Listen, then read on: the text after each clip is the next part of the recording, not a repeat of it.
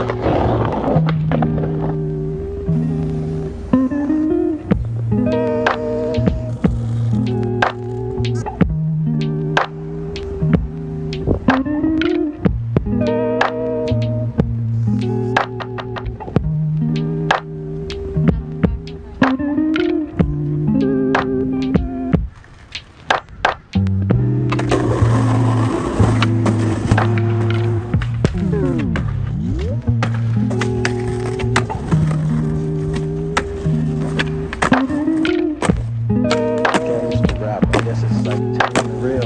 holding back, giving us, you know, the reality from the street.